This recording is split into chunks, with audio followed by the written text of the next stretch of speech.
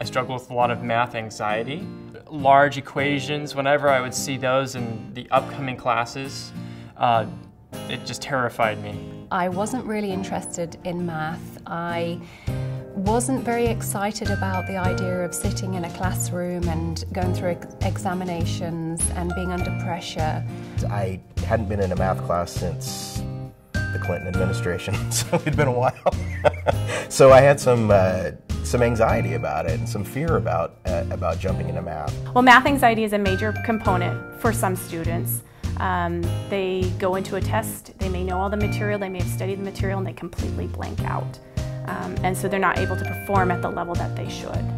I was, I was struggling in Algebra 1 and 2, just the, the class format, it was just rapid fire, and I really needed time to actually sit down and fully understand the math concepts that we were learning. I wanted to have a really good grip on everything instead of just studying for the tests. The math literacy pathway is another option for students to complete their math requirements.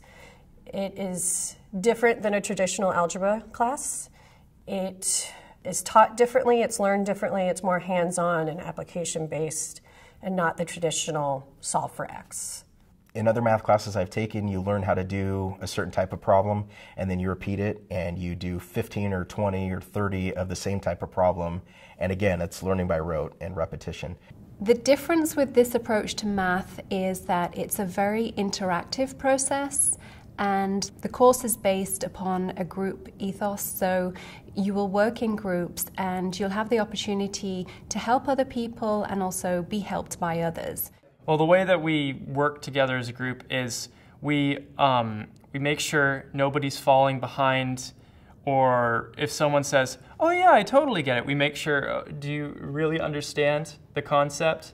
They're working together, they're problem solving, they're teaching each other, they're learning from each other, they're engaging in each other.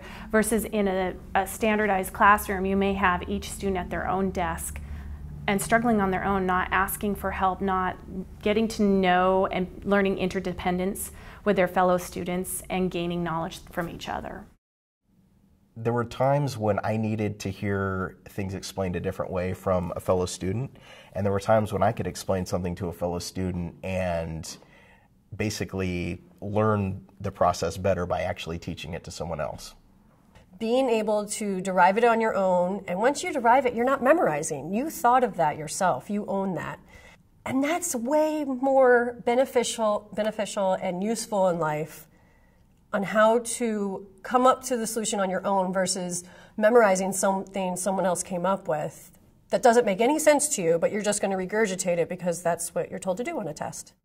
I think the math literacy pathway is about uh, students who are needing to gain their math skills in a different direction.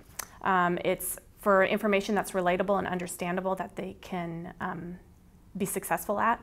It's also for students who may have struggled with math or anxious or had a bad experience in math and it's shifting and allowing them an opportunity to be successful and, and meet their dreams. It has got me through. I have succeeded and it has been difficult, but I made it. I recommend this class all the time to people who I come into contact with. Everybody left that first exam with a smile on their face, and they said, I've never felt better about a math test. Beforehand, I was wishy washy, like, oh, I hope I get this right, I hope I got that right. And now I enjoy coming to the classes and taking the tests, and I don't procrastinate at all. Mathematics is very important in life, but if you don't see the relevance, you, it's easy to ignore. But this pathway is creating that relevance and creating this way for students to feel successful and to complete their degree and get to a college level math class that maybe they never thought was going to be part of their future and now they see it they see it one of the one of the stories that kind of hit me or hit home for me was a student said I've always been a C student in math. If you had told me that I would be an A, student or a B student, there's no way that would be possible. And I'm getting an A this term. So that was really powerful.